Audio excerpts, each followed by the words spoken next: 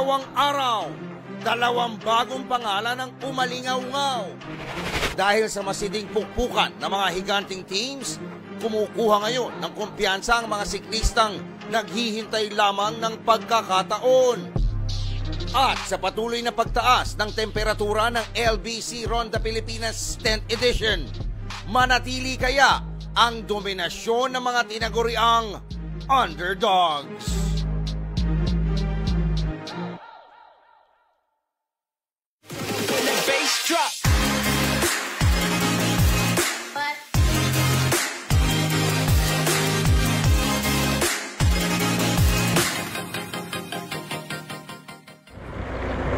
Mabuhay Luzon, Visayas, Mindanao, Mega Manila World. Unang dalawang stages, puros mga less heralded riders ang sumikat ngayong stage 3. Ano kaya ang magaganap? Ako po si Snow Bato. Mga karonda, pinakamaikli po ang ating ruta ngayon sa road race. Pero isa sa pinakamahirap, mga akyatin at pawindang-windang na kalsada ang naghihintay sa ating mga siklista. 119 kilometers mula Legazpi City hanggang Naga. Ako po si DJ Bobby Udulio. Let's ride na! At narito ang aksyon, stage number 3, LBC Ronda Pilipinas, Attack!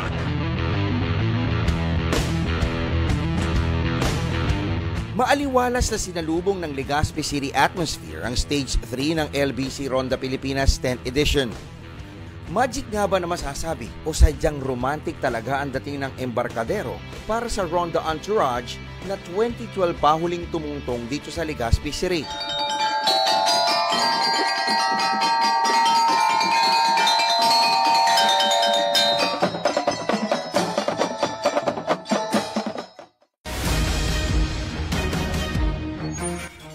Sa starting line ay mga perennial title favorites ang nakapwesto sa harapan.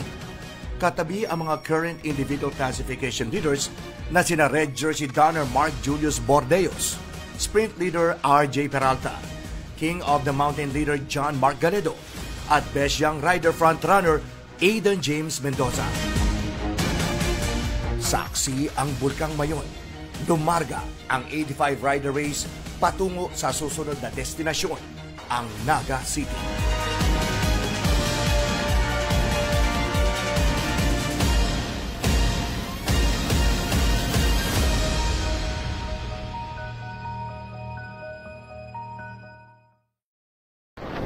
The race has just started, kilometer zero. I can see an orange jersey. Orange jersey, pumipiglas po lumalayo. Pero hinahabol po siya agad ng peloton. Pero ito na pala ang huling pagkakataon na makakakitaan ng tensyon ang peloton. Sa sumunod na 40 kilometro, naging payapa ang harapan nito. Behave ang peloton maliban na lamang ng tumuntong na ang kilometer 27.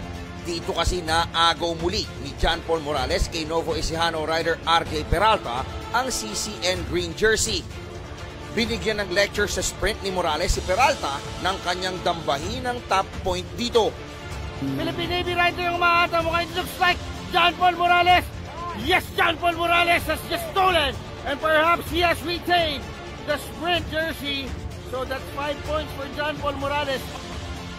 Matapos ito, muling nagpakiramdaman ang mga marquee riders sa peloton. Sa tuwi na, isang mahabang sawa ang itsura ng race column sa lansangan. Pero pagpasok ng sangay sa Tiwi, dito nakataka si Celeste Cycle Star Ruel Kitoy. Humagunod si Kitoy hanggang sa King of the Mountain Summit.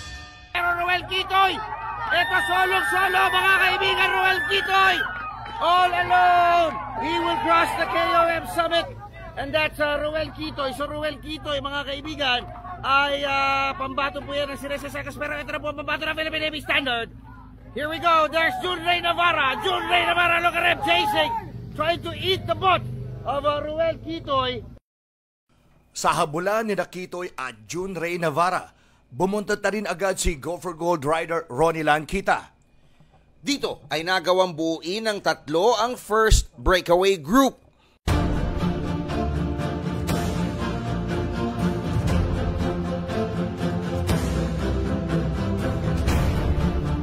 Sa puntong ito, kinontrol ng Navy at Gopher Gold ang harapan ng peloton. Ito ay upang maiwasan ang pagtakas ng mga leaders sa general classification. Ganito na lamang kaya ang maging istorya ng karera. Abangan sa pagbabalik ng LBC Ronda Pilipinas TV.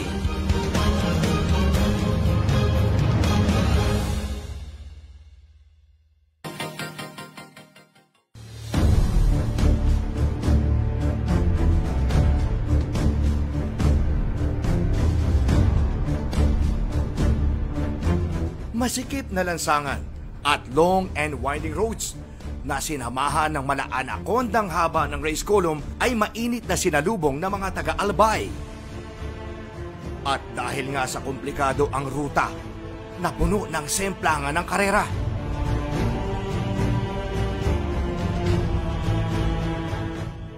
Pero sa patag na bahagi ng Ocampo, bumigay na ang tuhod ni Kitoy. Naiwan ngayon kina Junray Navarra at Ronelan Kita ang lead back. We have about 15 kilometers to the finish line. So, dalawa na na po ito, Renelan Kita at Junray Navarra. Bumitaw na po si uh, Ruel Kitoy. So Ruel Kitoy is now behind by by 15 seconds. Pagpasok ng pili, dito na umatake ang peloton. Sa puntong ito, virtually 2-minute lead na ang hawak ng Navy sa team classification dahil nasa harapan si Navarra. Dito ngayon inagaw ng 7-Eleven riders ang Manibela. Pamaya-maya pa, naramdaman na ito ng dalawang leaders. 37 seconds na lang. Pababa ng pababa. Hindi naglaon. Naging isang buong grupo na ulit ang race column. Dito ay naging free for all ang huling yugto ng karera. Or make the 100 meters to the finish line. Philippine Navy po mga nasa harapan. Navy umaataw pero pumapalag po ang mga taga 7-Eleven nasa may padalikuran. May kumakalat po mula dito sa Go for Gold. Mga taga Go for Gold po. And mukhang ito po rider ng scratch it. Ladies and gentlemen, ang mananalo ay Jerry Aquino Jr. So Jerry Aquino Jr.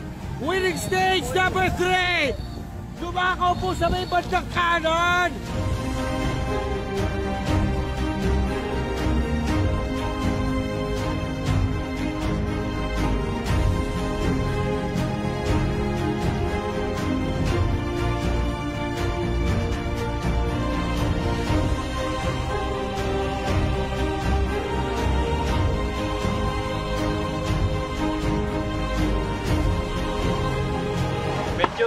Intense talaga eh. Kasi lahat gusto manalo, lahat nag-aagawan ng pwesto.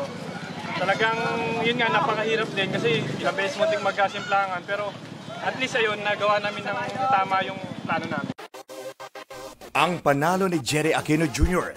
ay nagpatibay sa paniniwala ng marami na nagsisimula ng magparamdam ang 4-year-old program ng Go for Gold.